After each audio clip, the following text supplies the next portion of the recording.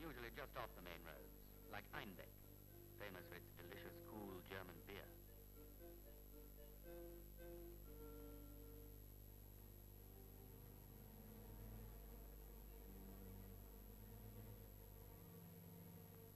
These splendid 19th century gates have a Wagnerian quality too, as if they might be leading to Valhalla. But no, it's the road into Hamburg, great port of. Hamburg is not only full of ships and cranes and warehouses, but it's full of opera houses and nightclubs too, where everyone, whether they're working hard or playing hard, is determined to get 60 seconds out of every minute. Up here in the north, the two London buses came across some pretty bad weather. It poured with rain, the wind blew, the trees smacked at the windows of the bus, and water flooded the streets. But let's face it, London buses are fairly well used Heading for Denmark now. Kiel.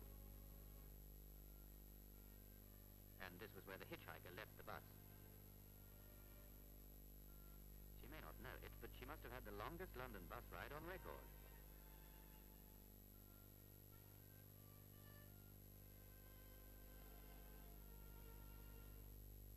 Another border.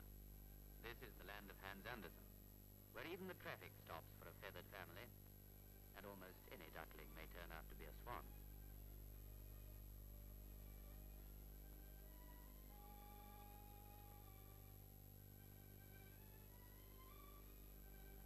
Soon the rich, quiet, fertile fields of Denmark are rolling past the bus windows. Denmark is a land not only of agriculture, but of water, of ferries, swing bridges and boats. Incidentally, London bus we're watching makes a daily journey to Liverpool Street Station, and the boat train for Denmark leaves from Liverpool Street to catch the steamer. So perhaps these buses don't feel quite so strange after all. Except maybe when they find themselves in the middle of a horse.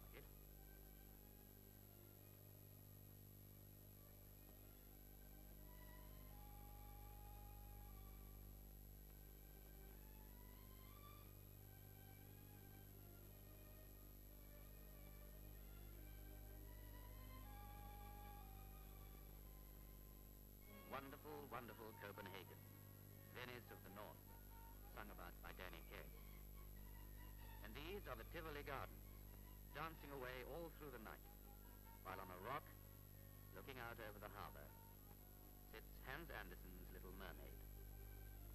Ferries again. This time it's a long way, leaving Denmark behind and heading east across the Baltic to Sweden. The buses are reduced to the status of mere passengers.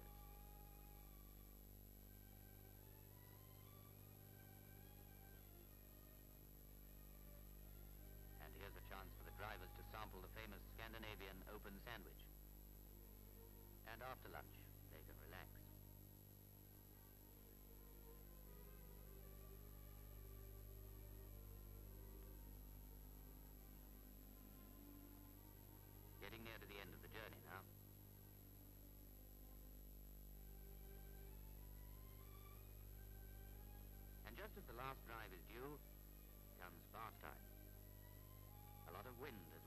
windscreens between here and London, and a lot of mud collected on those mud guards. For a positively final appearance, the triumphal entry at the end of the journey, London buses must be fit for a queen to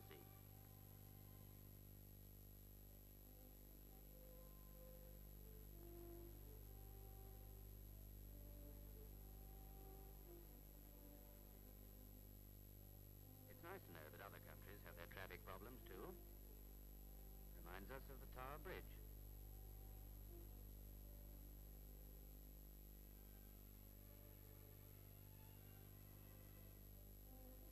Malmo, at last.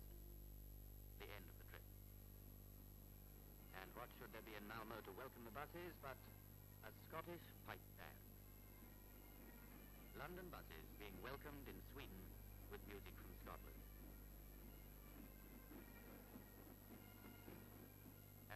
That was the end of the journey.